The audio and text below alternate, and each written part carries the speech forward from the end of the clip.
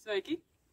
Esam Dundurpļavās, vienā no labākajām dabas vērošanas vietām Ķemeru Nacionālajā parkā. Dundurpļavās putnu vērošanas vietas ir trīs. Šobrīd mēs esam vienā no viņām - Dundurpļavu turnī. Nu re, putnus vērojot, viss ir vienkāršāk nekā jums liekas, tādēļ, ka jums ir priekšā špikeris. Šajā steidā var atrast informāciju par visiem putniem, kurus Dundurpļavās var redzēt. Turnī ir iekārtoti divi putnu būri, un eh, mājas strazdi tur labprāt arī likstot. Tā kā mājas strazdus jūs redzēsiet pilnīgi noteikti. Lauku cīrulis. Parasti jūs viņu redzēsiet lidojumā, visbiežāk arī augstu debesīs. Un vēl šī ir laba vieta, eh, lai vērotu Latvijas lielāko plēsīgo putnu, jūras ērgli. Bet eh, ar tiem plēšputniem parasti ir tā, ka, ja ir tā, ka jūs putnus tik labi nepazīstat, tad var gadīties, ka jūs uh, vienkārši redzat tādu tumšu punktiņu, nojaušat, ka tas ir plēšputns, nu, jūs varat iedomāties, ka tas ir jūras ērglis.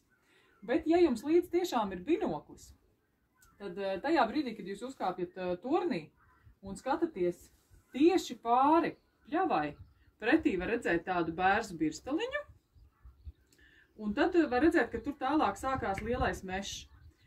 Apmēram uz robežas starp bērzu pirstaliņu un mežu ir vērts pārlūkot šos te kokus, kamēr viņiem nav lapas, jo tā mēdz būt jūras ērglim tāda iemīļota sēdēšanas vieta. Tagad mēs esam otrā, otrajā no vietām, kur Dundurpļavās var vērot putnus un dabu.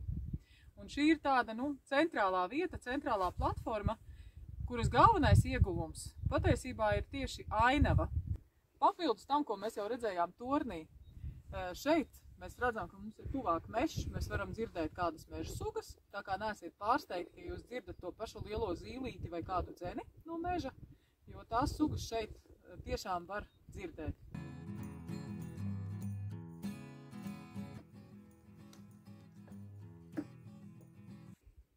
Un šī ir trešā vieta Dundurpļavās, no kurienes ir vislabākā dabas vērošana. Un šeit jau tā ainava ir mazliet atšķirīgāka no tā, ko mēs redzējām iepriekš, jo šeit tā pļava, kas mums pavarās, ir stipri, stipri vien slapjāka, gan bebru darbības dēļ, gan arī veikto hidroloģiskā režīma atjaunošanas darba dēļ. Un šeit pamatā ir tātad ūdens, tāda aplūdus pļava, un otrā pusē mēs redzam tādu lielu, lielu niedrāju. Šī ir labākā vieta lai vērotu tās pašas jau iepriekš pieminētās dzērves. To te ir vairāki pāri. Cervēm apkārt dzīvojas ķīvītes, un ķīvītēm īpaši patīk šī te aplūdusī pļavas daļa, un arī tās šeit ir vairāki pāri. Tā ir tāda ļoti laba ķīvīšu vērošanas vieta. Un eh, tad šeit varētu gadīties novērot niedruliņu, kas ir tāds viens no plēsīgajiem putniem. Viņai ļoti patīk lidot virs niedrājiem. Bet nu, tās tad būtu tādas galvenās putnu sugas, ko, ko no šīs platformas var redzēt.